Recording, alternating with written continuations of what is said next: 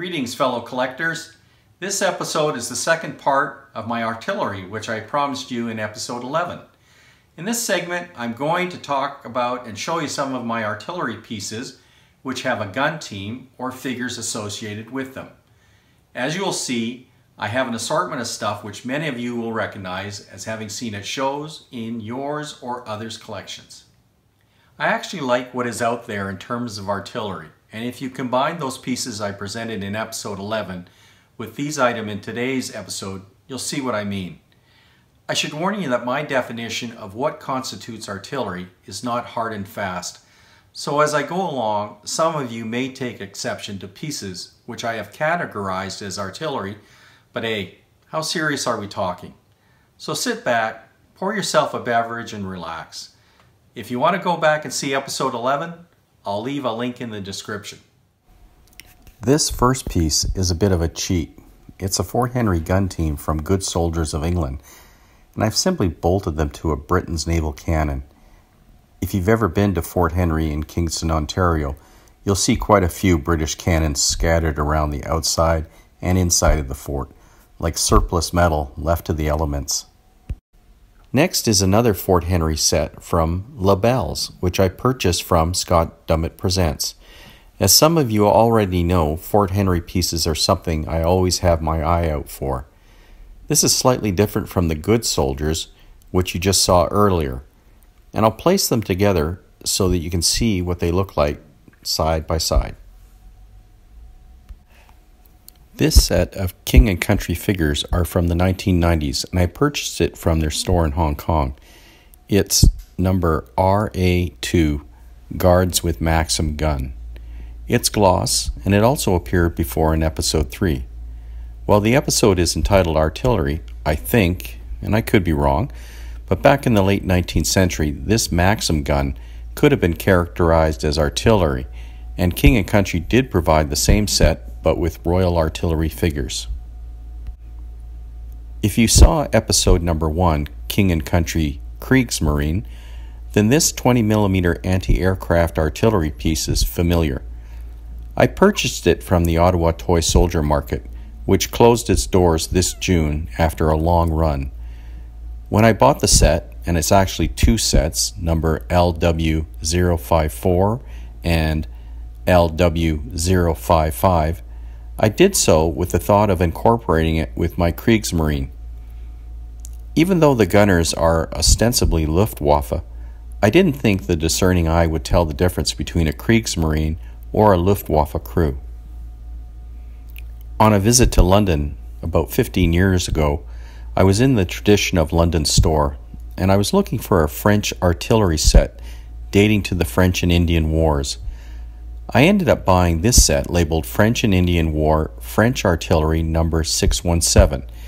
And while you may look askance at the naval cannon, I'm told that in New France, the defense of the French territories such as Quebec City, Louisiana, Louisbourg, the Pontiac, etc., fell under the authority of the French Navy. Thus, it would only make sense that part of the artillery available to French forces would include naval cannons.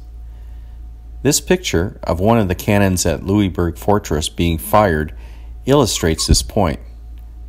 I think you will agree that tradition hit the mark, right down to the uniform colors and cannon. Another artillery piece I purchased from tradition is the Indian Army Mountain Artillery Set number 065. I think it's a limited edition as it's numbered 441 out of 500 and has appeared before in episode 4. Here I have assembled it with its related gun team and pack mules. In fact, this is the first time I have put it together. Normally, I think we just leave it disassembled on the pack mules. Has anyone else assembled their artillery to see what it looks like? These next few sets are Britain's and will be familiar to many of you. They date back to the late 1990s, early 2000.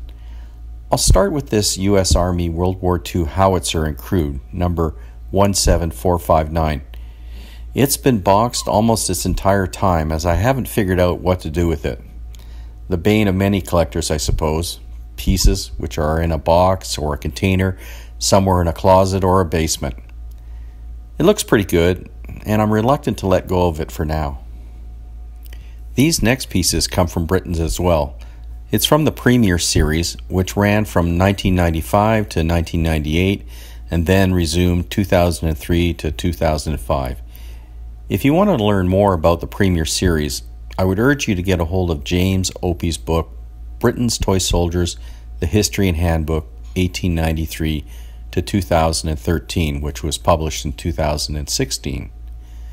Now, the first is a World War I Thornycroft anti aircraft gun.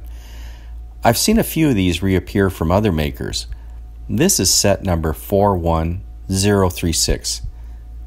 I liked how the gun is mobile, combined with the old Thornycroft truck. Imagine trying to hit a biplane with this on a cold, rainy day on the Western Front. Now, take a look at this photo. It's dated 1918 from the Canadian Archives, and it's entitled Crews Relaxed Near Their Anti Aircraft Motor Lorries Armed with QF 13 pounder 9 cubic weight anti aircraft guns. Look familiar? Next is the World War I British 6 inch howitzer with crew, set number 41029. The crew wears the soft peak caps versus the steel Brodie helmets later introduced during the war. Now, here's a picture from World War I of Canadian artillery training on this howitzer in England at the Whitley camp. Following along the lines of the earlier King and Country Maxim gun set, I have a Marlborough Military Models, which I think is set number 36, Royal Artillery Gatling Gun and Crew. I bought this from another collector, and the sharp eyed amongst you may have seen this in episode 4. Like the King and Country piece, I have included this because in the late 19th century, pieces like this would have likely been included in the inventory and manned by the Royal Artillery. This is another World War I artillery set from Britain's number 41024 and it's a German 7.7 millimeter gun with limber and crew. Note that the figures are wearing the classic steel helmet and the gun and limber are camouflaged. Now here's a picture that appears in the Imperial War Museum of that same gun, albeit cleaned up and not camouflaged. Now I put together the two guns, the British 6 inch and this one, so you can get a better appreciation of what the two of them look like. I'm sure most of you recognize this set immediately. It's been replicated by many makers since Britain's first introduced it back in 1896 as set number 39. This is set number 44053 King's Troop Royal Horse Artillery with the 13 pound quick firing gun and crew. I bought this at the Guards Toy Soldier Center in London. Unfortunately, the store closed in uh, early 2021, and so I'm not even sure if there's any brick and mortar toy soldier shop still left in London. They used to carry an assortment of figures from Britain's King and Country, and sometimes you used to be able to find other makers there. It was sort of a nice uh, place to go to. It was situated near the Guards Regiment Museum and it was about five minutes' walk from Buckingham Palace, but sign of the times. This CBG Mignot set number 590 was shown on episode number 10. I purchased this in Paris at Les Galeries Lafayette. I liked how the set appears in its own little diorama in the presentation box. It's a nice marketing touch and is a trademark of Mignot. Often you can buy many of its sets like this, but of course the price increases. I have a funny story about purchasing this set, but you'll have to see episode 10 to hear it. This is the Frontline WB 1A World War II British 5.5 inch gun with crew. I bought it from the Ottawa Toy Soldier Market, and I think at the time it was the store's last of this set. And for the price I paid, I was really surprised at the number of figures which came with it. I think it was a bit of a bargain. I already have some Crescent 5.5 inch cannons that appeared in episode 12, and you can see these uh, as we move along here. And also included a photo of a British 5.5 inch gun manned by a Canadian gun crew in World War II. This artillery set is from Fusilier Miniatures, number WW132. It's stated to be the World War I British 92 mm howitzer with crew. It's a bit larger than some artillery sets, and I've added some brass 22 caliber casings to give it a little added splash. But don't ask me what the real casings would look like. I have no idea. Well, that concludes this episode.